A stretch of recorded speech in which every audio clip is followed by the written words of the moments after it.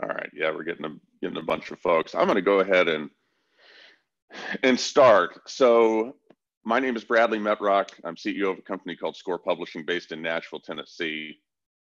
We are not a normal publisher. Someone asked me the other day, "What is a normal publisher?" It's a good question. I don't know. Whatever it is, we're not that. So, a lot of what we do puts us at the center of the conversation around voice technology and conversational AI. So, three years ago, we started a podcast network called Voice First FM, which uh, is the podcast network for this new era of voice computing that we're in. Our flagship show, This Week in Voice, um, I host that. Um, we're fortunate that a lot of people have enjoyed it and, and listened to it and watch it on YouTube. Um, springing forth out of that has been what we call the Project Voice series, which is a series of live events and industry conferences digital book world is a little bit of a one-off for us. We had a chance to acquire it um, a couple of years ago, and um, as you can imagine, there's a reason. there's a reason when a company can acquire something like that that you never heard of. Um, it was in bad shape, and we took it on. Uh, we definitely thought that there was a need for a digital a, a conference that looks at digital publishing, but uh, synthesizes that information with what's going on with print and the realization that print's never going to leave us. And so we set out you know after we acquired digital book world to to create the best publishing conference that exists. That's that's our goal with it. And um, we're pleased that last year uh, we had a sold out event uh, just a who's who of folks participating and we're really proud of it. And you know the events this year have presented a bit of a challenge but um, we're we're pretty creative. Uh, we're we've already announced some guidelines that um, will elevate hygiene, health, and safety for events moving forward that we do. Um, we're about to announce some tweaks to those, so I don't want to talk too much about events. Everybody's, you know, uh, I'm going to focus on the the issue at hand. If you want to ask me about events, uh, you can just uh, not ask and look at what we do um, because we'll have more to much more to say about that over May and June. Um, Thank you for joining us. So back when we did Digital Book World 2019, we wanted to do some community events just as a service. Um, not everybody can attend Digital Book World. It's expensive because it has to be. Um, it's it's premium. Um, it's something that not everybody can go to. But we wanted uh, to, you know, for people around the world or for, for people who one reason or another can't can't go, we wanted to do some some virtual stuff. And so it was back in last September, long before coronavirus was something we knew about, that we announced DBW FM and DBW AI just with the intention of covering some topics that were germane to the publishing community. And so today, I'm going to be talking all about voice technology in publishing.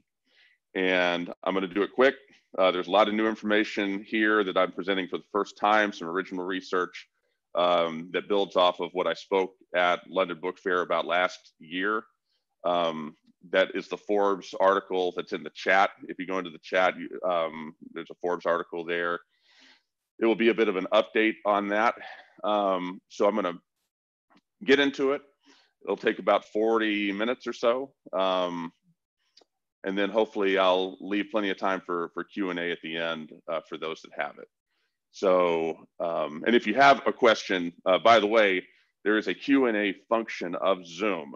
So if you if you write a question in the chat, I'll I'll try to be looking at that, but I can't make any guarantees. If you write a question in the Q&A part of Zoom, which you should see in the bottom bar, at least that's what it's on for mine. Um, uh, if you put it there, I, I, that guarantees that I'll see it at the end. All right, so with that, I'm going to hit share screen.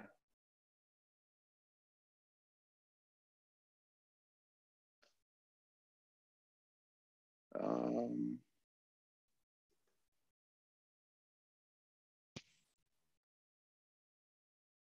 okay, I think this is I think this is working here. Let me um, go to slideshow and play from start. Okay. Cool. And let me see if I can get the chat up. Yeah. Okay. Can everybody see the screen? A couple people saying yes will be great.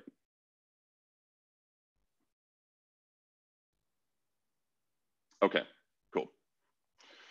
With that, we'll be off and running. So here's what we're gonna do. Intro, I've already given you a little bit of that. I'm gonna talk who we are. Uh, if, you, if you care about that, it's in the slides, you'll get them afterward. I'm gonna really breeze through that quickly. Early successes of voice technology, I'm gonna paint a picture of some context across different industries, um, which is necessary to understand the role that voice is gonna play in publishing. I'm gonna talk about some early use cases we've already seen. Then I'm gonna talk about this New York Times test for voice assistance that we came up with uh, that made news last year that we've updated for this year, some important takeaways there, what can and should publishers be doing now, and then we'll get to Q&A.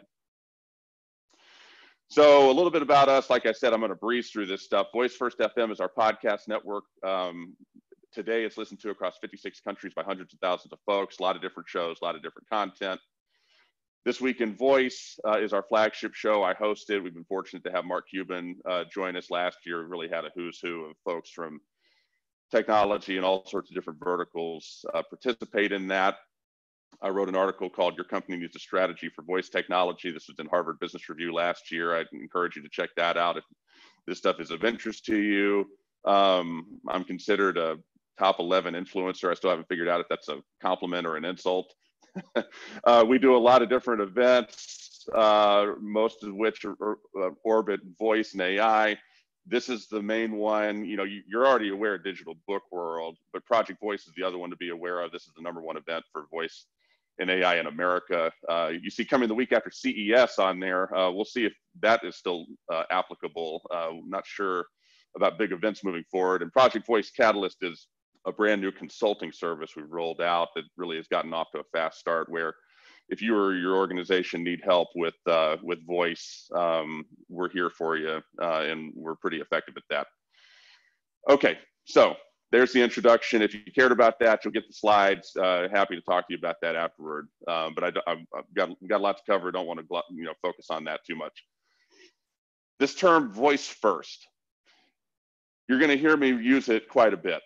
And I, want to talk about this a moment because it can be a little confusing, but it really speaks to the the the reality of why voice matters.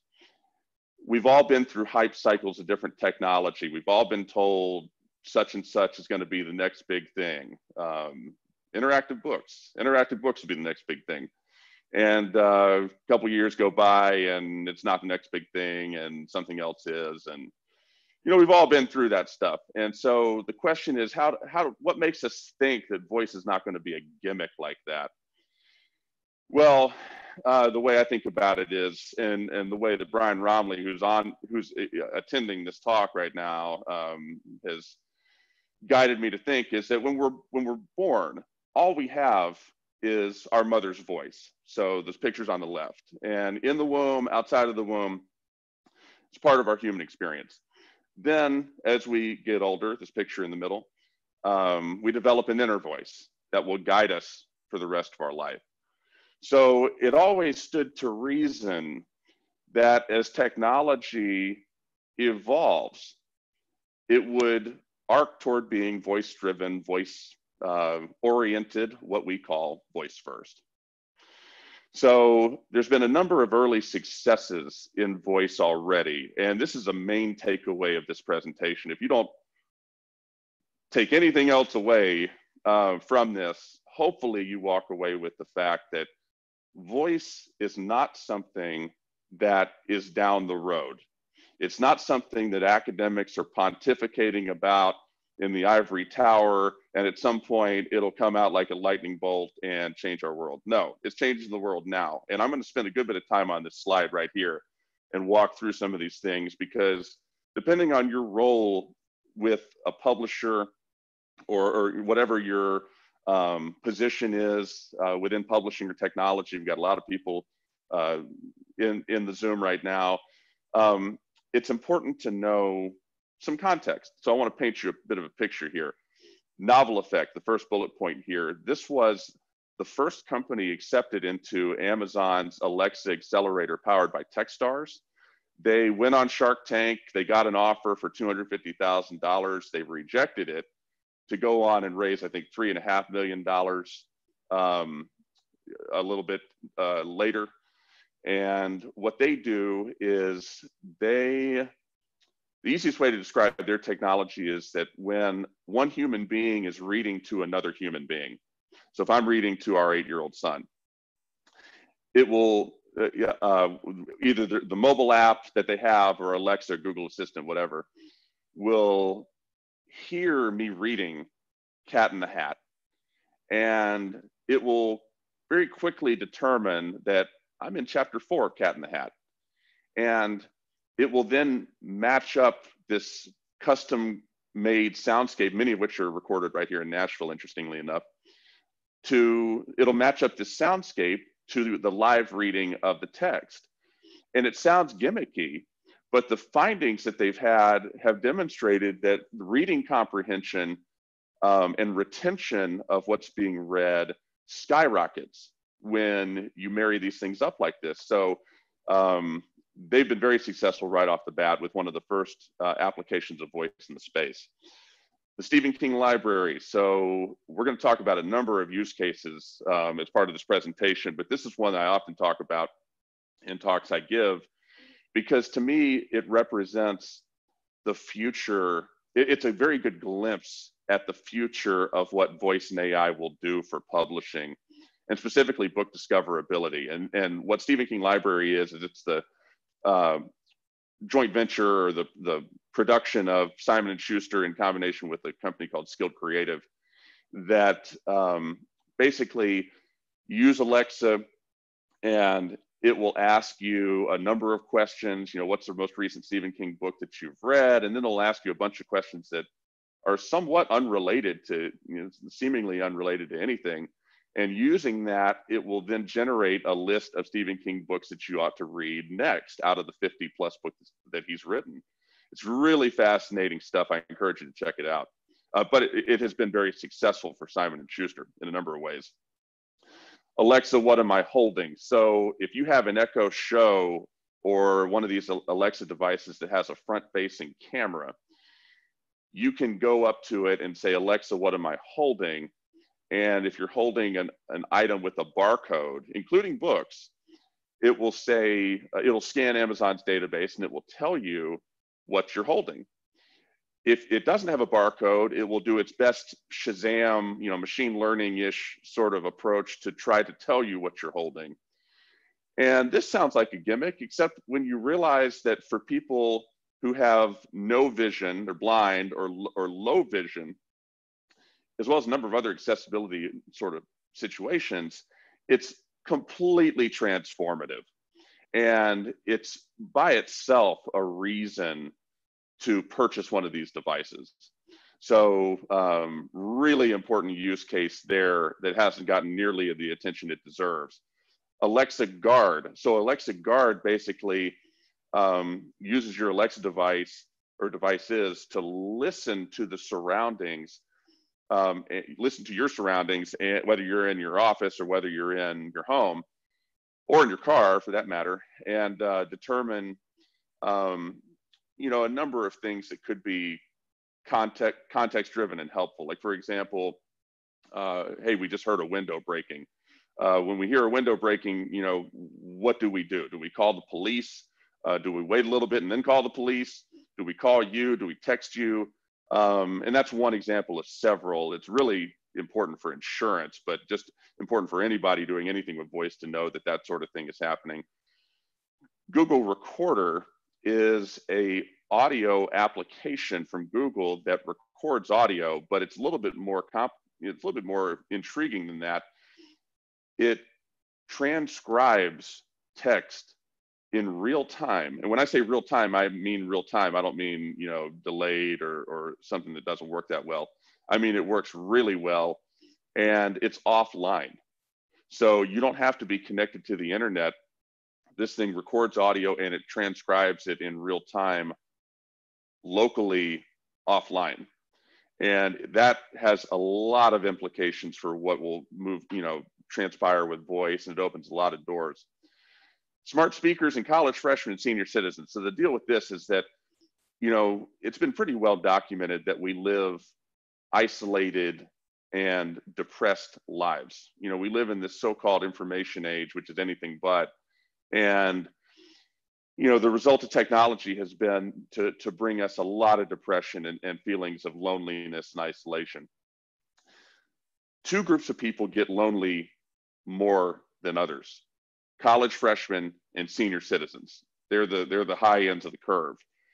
And if you think about it, obviously these groups have something in common. They, they both uh, often are, are in new environments. Uh, they're meeting new people. They have limited exposure to family. Uh, they're learning new, new community rules of engagement, a lot of, lot of similarities.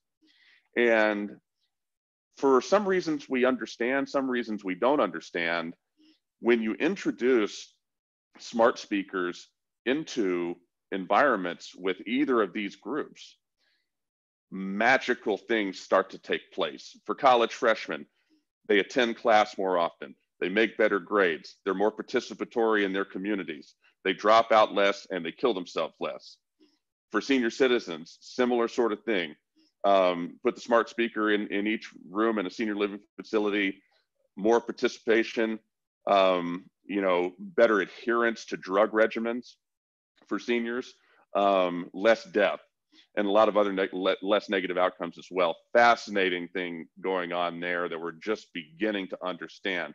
And the final one is what smart speakers have done for speech pathology. And for this, uh, I'm going to play a video in just a moment.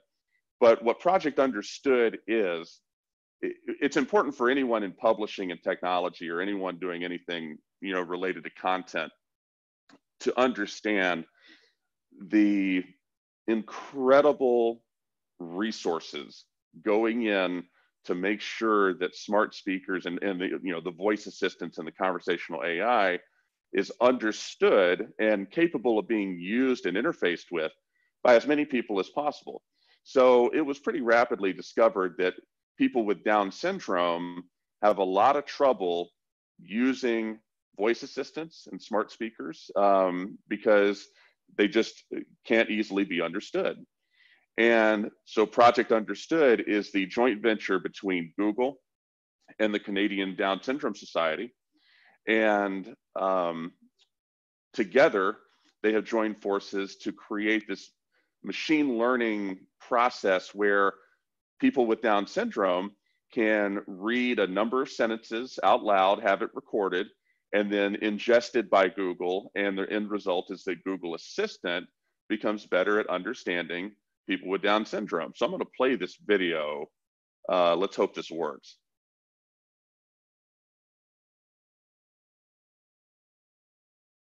Uh,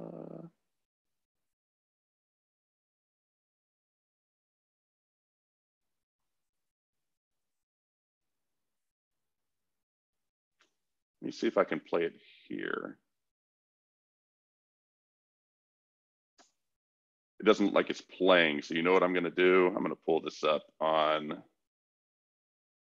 YouTube and play it. Because it's important, it's worth taking a moment.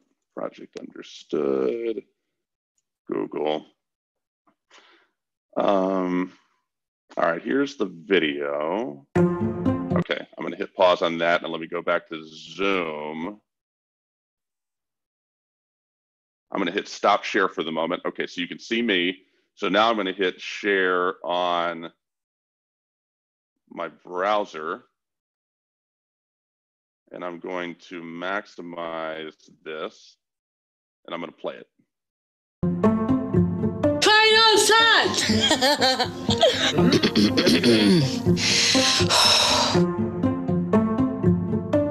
I can use my voice for all kind of things. Like nailing a job interview. Meeting a cute person at a bar. Impressing you with my karaoke skills. but I can't use it. To ask about the weather. Hey, girl, what's the forecast today?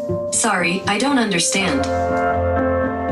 Or call my mom when I need help. Hey, Google. Because right now, voice technology doesn't always understand people with Down syndrome. Which sucks. Nobody likes to be misunderstood or left behind. I may sound different, but I still have a lot to say. So we're partnering with Google. So we can solve it together using our own voice. The more voices we have, The better the technology will get. So we can create a future. where every person with Down syndrome is understood. We got this. I'm teaching Google. I am teaching Google. I'm teaching Google. Donate your voice. At projectunderstood.ca. Hey, Google. Thank you. You're welcome. All right, so I'm going to hit stop share on that. Just a remarkable, remarkable video. I'm going to go back into PowerPoint now. So thus far in this presentation, what we've done is paint a picture for um, the argument on how important voice is. So if you thought, is voice a gimmick? Is it not a gimmick? Uh, is it something that's going to be ephemeral, here today, gone tomorrow? Um, hopefully, this addresses that question. and uh, you can clearly see the way the world's moving, which depend, like I said, depending on the role you're sitting in, in a publisher, in a technology company, whatever it is you're doing, um, that is very important insight to have. So now what I'm going to do is I'm going to go through a number of early use cases that we've seen, and all of these are going to be on Alexa. You know, many of these have a counterpart on Google Assistant. I just took the Alexa page, so I'm not, you know, you if you use Google, you can find it over there too. Uh, nothing against that. It's just easier to pull their page. So um, Stephen King Library, I've already talked about that. Um, very important Alexa skill. By the way, what is an Alexa skill? It's an app for Alexa. Okay, so if I talk about an app for Alexa, uh, Alexa skill is Amazon's nomenclature for that. Uh, similarly, Google Action is the term for a Google app. So Stephen King Library talked about that. The Wayne investigation. So there was a movie that came out called Batman versus Superman. This was a couple of years ago. And DC decided, um, you know what, what we want to do is use Alexa to um, experiment. We're going to um, try out creating an Alexa skill because it's new and it's shiny. We're going to see what happens. So they created this thing called the Wayne investigation. And what it is, it's a very slickly produced, audio wise, um, narrative driven game. And it's basically a choose your own adventure sort of game that's, that's, that's you know, just one big story basically. And Amazon was shocked. They thought something was wrong with the reporting when they saw that people were using the Wayne investigation and engaging with this choose your own adventure type story that involves Batman trying to figure out who murdered his parents. Um, uh, they when when they were shocked to find out that the engagement for this was about six minutes in length. So any random person using this Alexa skill and playing this game was on average using it for between five and six minutes. Now contrast that to the previous high was like 22 seconds. so it annihilated the previous record for engagement in terms of how long the user is in, is engaging with the Alexa device in one sitting. And this had a lot of repercussions. Amazon immediately launched a program that it still uses now that's grown quite a bit called Developer Rewards um, to get people to develop skills uh, who are third parties. Uh, it got Amazon really serious about games, but it also got Amazon really serious about content. And um, as you think about how to use Alexa and Google Assistant and other voice assistants for your business, this is a very important data point um, you know, stop on the on the on the road um, to be cognizant of. Disney stories. So this is an interesting one, and, and, actually this is on the front page of the Alexa Skills Marketplace right now. So it's got some pretty premium real estate. So this has got a number of stories to it that children can access. And interestingly, it has, you can see on the screen, free to enable in-skill purchases available. So this is sort of the, the language, uh, the verbiage that Amazon uses for this sort of thing. Um, every single Alexa skill and Google action that exists, they're all free. Uh, none of them right now cost money uh, to, to, to engage and to enable. But what they're doing is they're enabling in-skill purchases. So basically, as you can see from the screen here, and I welcome you to check this out, there's four stories you get for free. And then if you pay, I think it was 99 cents at first, and then now it's up to $9.99, like the regular price, you unlock 50 additional stories.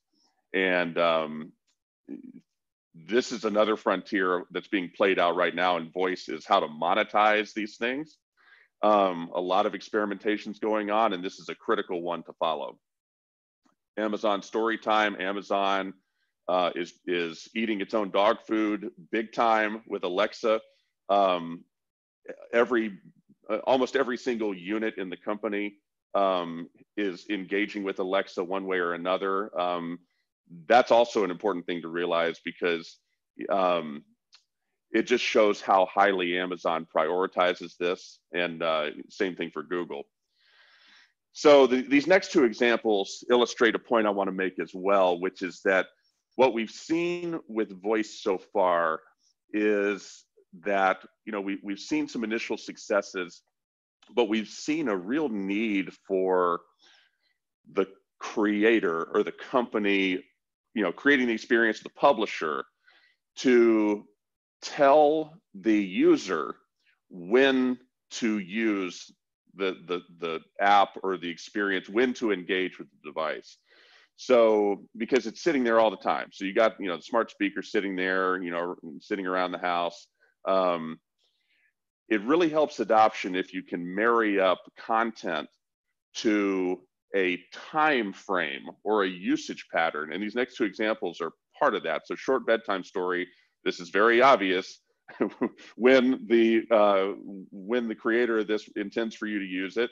Um, and uh, rather than limiting this in any way, it actually um, facilitates much higher adoption when you when you create content and you you give the user you know a box to play in. This is this right here is when you should use this content um, more often than other times. The other example here is Chompers by Gimlet Media. This is probably one of the most famous Alexa skills that exists.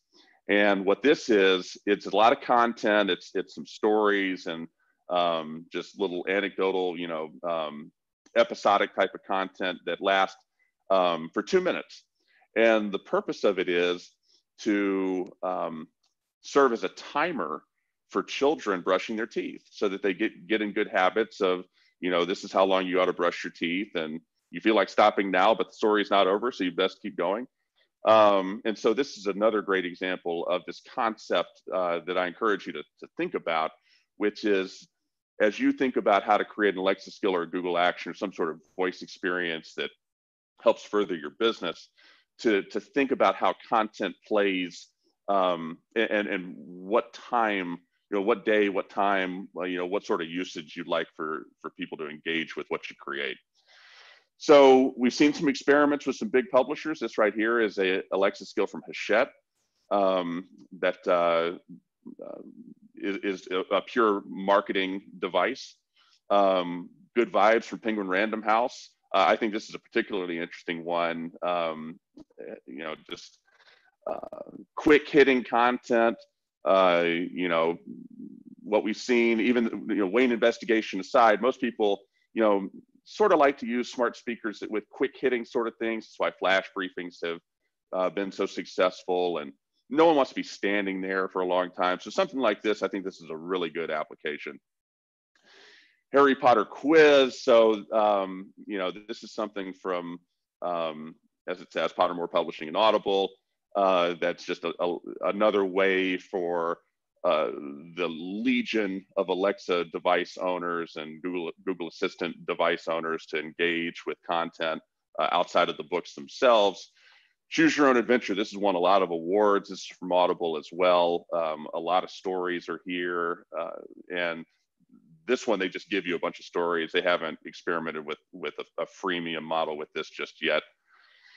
You choose Batman Adventures. So from our friends at Capstone, um, this is a another sort of choose your own adventure application um, with in-skill purchasing enabled. Um, interesting uh, combination of both marketing a story as well as uh, monetizing part of it. This, I think, is the last one I've got. Um, this is another one of these that I feel like is a best practice. The voice computing book is the name of the skill, but the actual name of the book is called Talk to Me. And uh, from James Vlahos, as it says in the text there, from Houghton Mifflin Harcourt published it. And this Alexa skill is, um, you know, it's got this vague sort of description here um, that really doesn't tell you what it does. Um, but what it does is that it's got interviews from the author. It's got additional insight on each chapter from the author. It's got a quiz that's narrated by the author. Really helps strengthen the connection from the user slash reader slash customer to the author. And I think this sort of thing you're going to see much more of as well. This has been quite successful.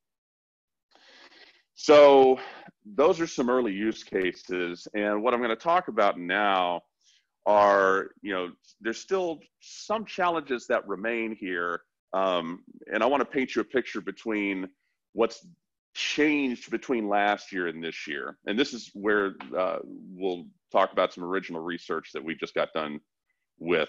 So last year, I spoke at London Book Fair, and uh, in conjunction with that talk, rolled out this uh, research that showed that voice assistants, uh, we used Alexa, Google Assistant, Siri, which is Apple's, Bixby, which is Samsung's, and a prominent independent player called SoundHound uh, with Houndify, and um, came up with a test.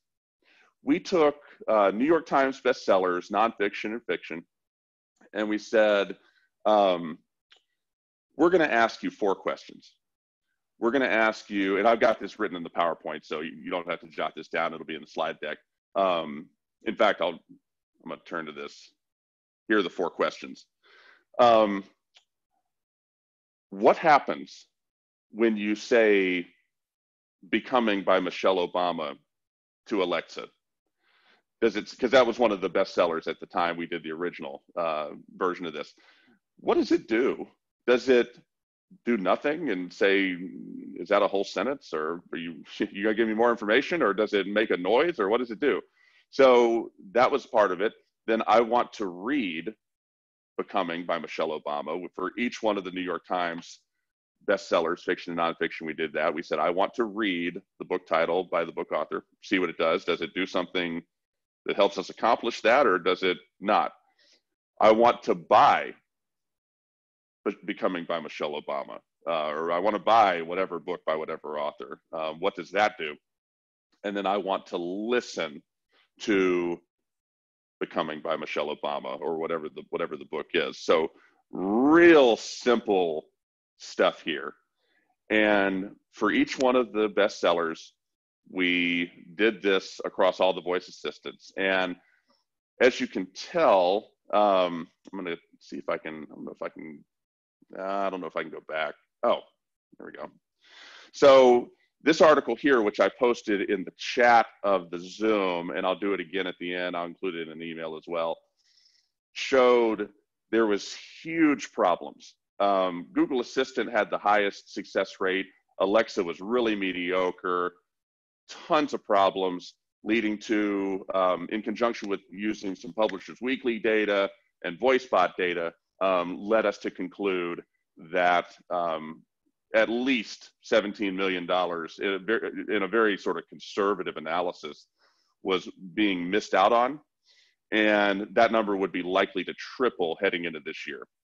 But interestingly, um, we so our research took the list for uh, this current list. You're looking at uh, fiction here, and then here's nonfiction. So we took these five books um, for fiction, these five books for nonfiction. And we did it again for Alexa and Google Assistant. And um, the results were really interesting. So Alexa is way improved. So I don't know if somebody read it or they just finally got to this on the to-do list or what, but whereas 44% of the queries, it's just an awful number, especially coming from a published, you know, a, a book-oriented company. Um, 44% were recognized uh, last year. Uh, that number's up to 75% this year, and um, really strong performance in terms of when you ask Alexa about a book um, with just basic queries. Now the likelihood is that it's going to respond in a way that adds value. And that's a huge, huge outcome um, and really good to see, um, especially when you consider that these New York Times bestsellers, the great thing about this list of books is that these are the most marketed, most uh, capitalized books in existence. They're getting the most love. They're getting the most attention. They're getting the most ad dollars. And if Alexa and Google Assistant can't get it right with these, there's no hope for anything else any of us, any of the rest of us uh, plebes do. So um, really good to see this result. Google Assistant is the same, but different, and I'll explain. So Google Assistant was at 72% last year, and now it's up to 75%. So a tick up, but there's a big, big caveat here. Google Assistant um, got every single thing right. If you ask, I want to read, insert name of book, insert author, um, it will get you the information. If you say, I want to buy, it'll get you information from like a gazillion vendors. If you say just the name of, you know, um, Camino Winds by John Grisham. That was that was one of them from this time. Camino Winds by John Grisham. Google Assistant will pop up a bunch of information. It it, it knows what it is. The the gap here is that for every single book, when you say I want to listen to Becoming by Michelle Obama, I want to listen to Camino Winds by John Grisham, it doesn't have a clue. it it wanted to send us over and over again to YouTube for videos that had nothing to do with anything. This is a major gap with Google Assistant. Um, I, some Google folks are on this webinar now. Y'all take a look at this and, and fix it, and then you'll be at 100%. So the bottom line here is that these results are good. These results are especially they're they're good in relative terms over last year. They're good in absolute terms uh, as well, and it shows the way this is all moving because um, once these voice assistants start to get these basic questions right, then the groundwork will be laid for what's to come, and and and really these voice assistants playing a much more prominent role in discoverability um, and some other things. So um, actions to take now. So this is I get asked about this uh, a lot, and so I want to cover this. Um, if you're a small publisher, if you're a university press, if, if you're a big publisher, um, if you are an entrepreneur and you just released a book, uh, you know what? No matter what it is you're doing, if you're if you're an educator, um, it really doesn't matter what you're doing. There's some some actions you can take now that will benefit you. The first one, and this is not meant to sound trite or cliched or, or, or trivial, it's to start. So as you could tell from all of the examples that I gave from Alexa use cases, as well as all the other stuff I showed earlier uh, at the beginning of the presentation, this train's already left the station. Um, there's a lot of experimentation going on now that your peers are doing, your, your competitors. Um, uh, it's, it's all happening now. And to be prepared uh, for the future, it, you know, it really would behoove you, like if you're at a big publisher or, or if you have the resources to do so, to, to have an intern or have a young uh, junior uh, person download Alexa Skills blueprints and just uh, on behalf of your company, create some sort of voice experience. You can do something really trivial, uh, something that doesn't matter that much. It can regurgitate information from your website. It can read a sample chapter from a book. It can it can do a number of things. But what you will learn from doing that is so valuable because you'll get key insights into how these ecosystems work. And even better, there's a there's a new reason now to do it. You know, it, it inherently there's reason to do it because you see the way this is the way the world's moving, and this is the interface that people will be using for computing. Um, you know, the dominant interface moving forward, not necessarily the exclusive one, but a dominant one.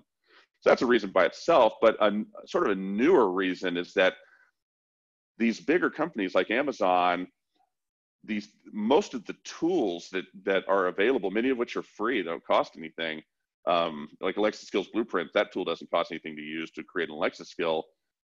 These tools now give you access to data that you didn't have before. So, for example, you might create an Alexa skill. Like, think about the Alexa skill for Talk to Me, that book that I was mentioning at the very end. Um, the, the name of the skill was the voice computing book, and the name of the actual book was Talk to Me. So if you create an Alexa skill for that, that serves as sort of a marketing front door, a marketing device, and you start to see from the data that people are asking, how do I buy this? How do I buy this? How do I buy this? And within the skill experience that you've created, something's amiss and it's not connecting the dots properly boy, that's really valuable insight. If you see, I want to buy this from Bookshop, I want to buy this from Bookshop, I want to buy this from Bookshop. Well, uh, you might want to think about allowing people to buy it from Bookshop. all, all the things that people say to these devices, that data you could never have before. And now all you have to do is create an Alexa skill and give it some meaningful functionality and drive some traffic to it using your existing marketing channels and it will really have potential to give you some keen insights that you didn't have before. So I encourage you to to have a bias toward action with voice rather than uh, a wait and see approach. Number two, leverage existing audio content. So this is something that a lot of people don't necessarily think about, but you know, there's so much audio content being created, whether it's audio, whether it's podcast interviews that authors are doing or publishing executives are doing, and then uh, produced audio that goes into voice experiences as well. You got all this audio, and seeing we've seen less experiments with this, but uh, I think this is fertile ground for creativity that publishers, uh, you know, forward publishers can bring. Is how can you leverage all of this audio content and monetize it? And one of the most obvious ways to do that is to take language that's more out of the movie industry where you know you go and buy a dvd or a blu-ray and you know a lot of times you have a regular edition you have a premium edition and the premium edition has extra content well you can do the same sort of thing with audiobooks um, where or even with voice experiences too where you can have some content available for free and then if you're willing to pay an extra 99 cents or a couple bucks or whatever it is, you can unlock a whole slew of other content, including, and here's where you reinsert all of that recorded content that you've already created and leverage it again. So um, something to think about uh, for sure. And then number three, forge relationship with Amazon, Alexa, and Google Assistant teams. This is really important, especially for publishers who have a hate hate relationship with Amazon. Um, I'm gonna stop the share just so you can see me. So, uh, and I'm about to start taking some questions, uh, but I'll put up my contact information in a minute. The thing about the publishing world, a lot of people hate Amazon. That is a position of luxury. The thing that you're going to find is that the way that Amazon is set up, and I, am I'm, I'm not here to defend Amazon. I'm not I'm not really down with defending you know trillion dollar companies. They don't need my help. But what what you're going to find is that if you don't, as a publisher, take advantage of Alexa and Google Assistant as well, that um, the content that you're creating is not going to be seen as by as many people. And we're only at the precipice of that. Uh, soon we'll have more contextual Alexa and Google Assistant that will have access to your calendar. They'll have access to your purchasing history. They'll have access to your podcast listening history, your audio, your your music history, and they'll know you. And when that happens, the, the way that these voice assistants will be able to recommend and uh, service a front end for discoverability for readers is it it's not going to make the search engine completely obsolete but it will make it mostly obsolete. And you know the time horizon for that is you know probably the next three or four years. So and it might be here sooner. So if your content is not within amazon's uh, where, where alexa can find it and where google assistant can find it then you better have another way because um, a lot of people are going to be using those uh, who ordinarily might have gone to the web and you could have caught them with an ad, you could have caught them with SEO, and you won't be able to do that anymore. So, um, forming a relationship with uh, the folks, um, you know, the silo within Amazon that deals with Alexa and the folks at Google who deal with Google Assistant, it will only benefit you, um, even if you may have an issue with something that's gone on in the past or some other business practice going on elsewhere in the company. So with that said, I'm going to go back to, let me see here. I'm going to put my contact information up on the screen and then I'm going to take questions. So I'm going to go back to share screen and I'm going to hit this. I'm going to go play from current slide. This is my book. If you care, it's on Amazon. Um, and this is me. So if you want to reach me, that's my email address, my Twitter handle, um, want to put flash that up on the screen. Would love to hear from you. Uh, hit me up. Happy to help you however we can. So after showing that, everybody attending the presentation will get the audio, the video, and the slide deck. I'm going to open up for questions. So I'm going to go to the Q&A. Um, I got Rob F saying break a leg. Okay, thank you. Um,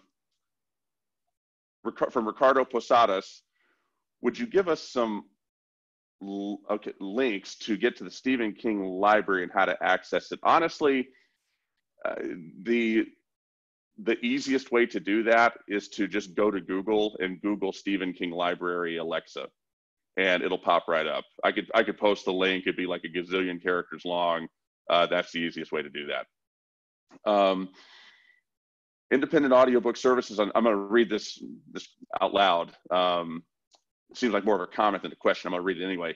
Independent audiobook services on smart speakers would be great. People with low vision subscribing to specialized nonprofit library services are waiting for that. Do you know of any successful independent service of this kind? Uh, that's a good question. Um, you know there's been some forays into voice uh, i think by libro um, I know Findaway um, is is uh, doing some work in it as well. I can't speak very well to how far down the road they are. Uh, if that's something you know about, uh, feel free to chime in in the comments. Um, we worked on a Google Home prototype last year, but faced technical issues which blocked us. Issues had to do with advanced user interactions during long audio tracks. Yeah, now uh, both Alexa and Google Assistant have made significant changes over the last, I would say, 30 months, certainly last, last two to three years, to um, enable longer form content. And one of the most meaningful ones on the Alexa side just happened a couple of weeks ago, where Amazon rolled out a new voice for Alexa that is uh, that has intonation and other properties that design it more for long form narrative and it didn't get a lot of press, didn't get a lot of people covering it, but um, you can see that's just one bullet point of several that sort of points toward Amazon and Google Assistant both understand that for many people, these voice assistants are just content delivery devices. And uh, they're continuing to work on that. And one of the things is what you mentioned in your comment, which is uh, needing to have longer audio. And so already the amount of audio that can go through AWS or through Google and be part of these experiences is way greater than it used to be, and they're continuing to work on that. Can you speak to the popularity of podcasts and how publishers should or shouldn't jump on that train? So yes, I can. Um, the um, the story that I use is that three years ago when we started Voice First FM, this the green thing in the top left corner of the logo, you know, behind me. Um, that's our podcast network. And, you know, back in 2017, I had the thought, aren't podcasts played out? Like, why would I do that? It feels like I missed the boat.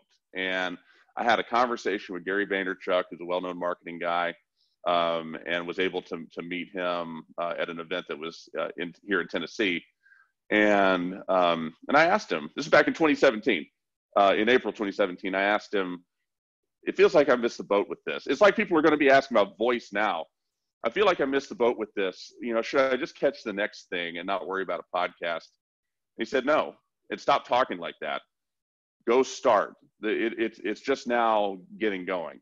And, you know, three years later, we've reaped a lot of benefits from the content we create and the content we produce and share with the world. Um, it, it's, it's our way of shining a light on interesting people doing interesting things. It's opened a lot of doors for us. And um, I would say that if you, I, you certainly should do it. And not to go down too far down this rabbit hole, but yes, you should absolutely do it. The key thing to think about is what can you deliver on six months from now? You know, down the road. You're you're full of energy now. You can do a bunch of stuff now, but you're going to get tired of it. Uh, life is going to start to get in the way. Can you realistically deliver on one podcast a month, um, one p- podcast a quarter, a couple a quarter? W- take whatever you think you can do, cut it in half, and then let that be your initial schedule. Because um, the key thing with podcasts is consistency, and um, much more so than production values. No one cares. Uh, they they'll say they care, but they don't. The audio quality um, what they care about is the consistency. And so if you can deliver, deliver, deliver, um, even when it gets hard, that's uh, if you can do that, then absolutely you should move forward. Um, the next question is, it seems the voice is working well with a dedicated device. Any thoughts why? How is it better than having it on your phone? So this is a major misconception of voice. Um, that the number one use is through smart speakers. Uh, it's not the number one use is on the phone in the car. So, and it's it's it's a significant difference. It's a, it's a significant gap between that and, and usage in the home, which is number two. So no, the car is actually the number one place where voice technology is used, and uh, then the home is number two. And so whether it's through smart speakers or whether it's the voice assistant embedded on your mobile, um, or soon voice assistants embedded in uh, wearables like headphones or, or, or glasses or, or, even your clothing, because we're getting to that point. Um, voice is going to be everywhere. There's nothing special necessarily about the device. And, and actually, it's very helpful to not think about the device and think more in terms of just the engagement between the voice experience and the user. Um, okay, so I think that's all the questions. Um, I do want to point out one more thing before we adjourn. Uh, there's an article. I'm going to actually post a link to it again um, here in the Zoom. There is an article from voicebot.ai that uh, I, I sort of, it was sort of implicit in my talk, but I want to make, I'm going to post it again here. So this article just from a couple of weeks ago or like 10 days ago talks about how Amazon's market share with voice and smart speakers, which used to be 60, 70%, like Herculean, has been chipped away, chipped away, chipped away by Google, which is now surging. And so what we're seeing emerge now is this true two horse race between Amazon and Google. And they both approach voice differently. Google's got an incredible amount of horsepower behind the underlying AI that is superior to what Amazon has. Amazon has incredible horsepower behind their customer presence and the data they have, and just their history is quite a bit different. Um, and so they're they're approaching this problem from two different vectors. But the reality is that now Google has managed to, most people would call it kind of sort of caught up to Amazon's lead. And the benefit of that to publishers and anybody doing anything with content is that you don't like what Amazon's doing, you hate them, you know, they they mistreated you or whatever the case may be, you can go to Google. And uh, you don't like what Google's doing, the, the, something wrong with them, go to Amazon. The, com- the competition in the space, and soon we'll have Apple. What Samsung's doing with, with Bixby is very relevant just beyond the purview of this webinar. Uh, and then we, there's a lot of other independent voice assistants too. But the fact that Amazon and Google are now on what most would call relatively equal footing is very advantageous for making sure that publishers of content of all sorts of different types have got the maximum number of doors open to them. And uh, that's a beautiful thing. And having Amazon and Google be forced to compete and forced to innovate and forced to act with urgency rather than the, the opposite um, will yield a lot of fruit for all of us. Thank you for being part of this webinar for DBWFM. Thank you for being part of the Digital Book World community. We're, we're honored to, uh, to get to know you. And, and certainly if you have questions or comments from this webinar, you got my email address. Everyone will get the audio, video, and the slide deck soon. Um, we appreciate setting, you setting some of your time aside during a very busy time to be part of this with us. Thank you very much, and we hope to see you soon.